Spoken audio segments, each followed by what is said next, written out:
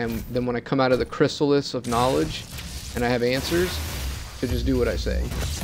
Adolf Hipster, 2017 or 20 or whenever it is. Fuck politics.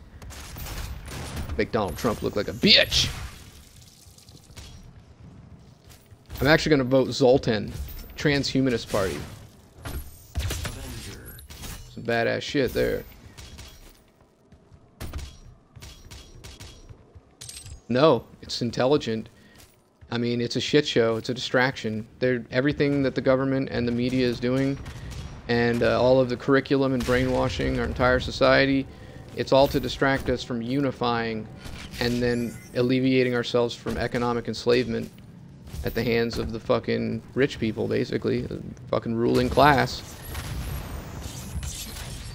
And you know, like if we hate them and we're like, "Fuck it, I'm anonymous. Gonna buy me fucking cool ass mask and and like be a coward and hide behind it and not have to like take any responsibility for what I say anywhere because I'm hiding behind a mask and nobody knows who I am.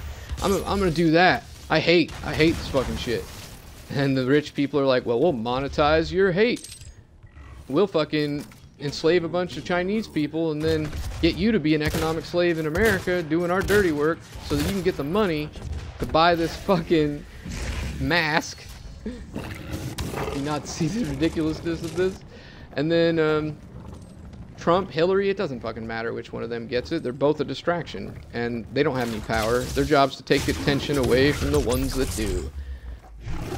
No, no president really has any power. And anyone that like tries or might have a chance of like waking up the sheep, causing an uprising or something, well, they whatever they kill him or they'll threaten his life and make him drop out of the race, like they most likely did with Sanders. Yeah, right. You expect me to believe Sanders is a contender, has a chance, goes through all that, his whole year, his career politician, and he's got a chance of winning, and he just drops out and supports Hillary? Yeah, right. You expect me to believe that that motherfucker wasn't coerced? yeah. So disappointed in the world. And uh, my mom, when she was voting for Obama all those years ago, she told me that if Obama didn't get pre the presidency, that she would move out of the country and she was done with America. And uh, I told her, well, oh, even if Obama gets presidency, nothing is going to change. So you might as well get to packing. Sure as shit, that's what happened. So I've known for a long time that it's a joke.